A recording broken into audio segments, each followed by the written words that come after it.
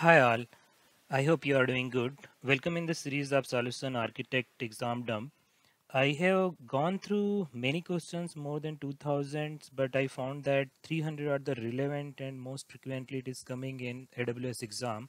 And uh, this selected 300 questions I have covered in the YouTube videos and um one video I am covering only one question. So you must have to go, go through with all these 300 questions and uh, if your basics are clear and if you've gone through these 300 videos then um, i think 30 minutes would be good enough to attempt 65 questions. And uh, you can attempt all these questions correctly. And the main thing is that which i'm going to cover in the all videos is like that uh, the simple trick how to find the hint in the questions and how to get get rid of the wrong answers. So let's start with the first question. I have just uh, uh, mention it here in my PowerPoint that uh, related to that Amazon Redshift cluster. So the question is saying that a solution architect is designing an application that will encrypt all data in Amazon Redshift cluster. Which action will encrypt the data at rest? So if just I'm going to find out the hint. So the first hint is like that all data you need to encrypt and it is mentioned as rest. So there are the two hints which you need to uh, highlight it or you need to underline it when you are in the exams.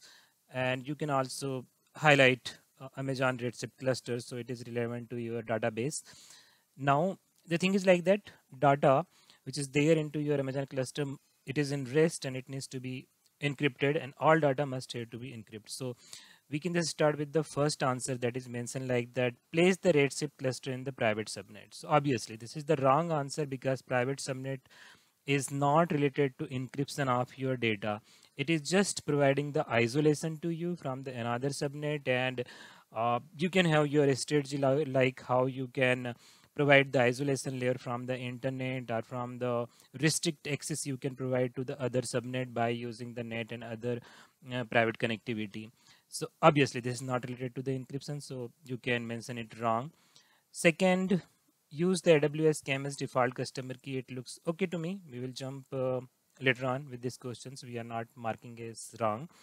Encrypt the amazon ebs volume. So obviously this is the wrong answer. The reason is like that uh, amazon redshift cluster is man fully managed by the aws where it is not like that you can um, attach uh, EBS volume by uh, yourself and uh, making it encryption that is not possible at all.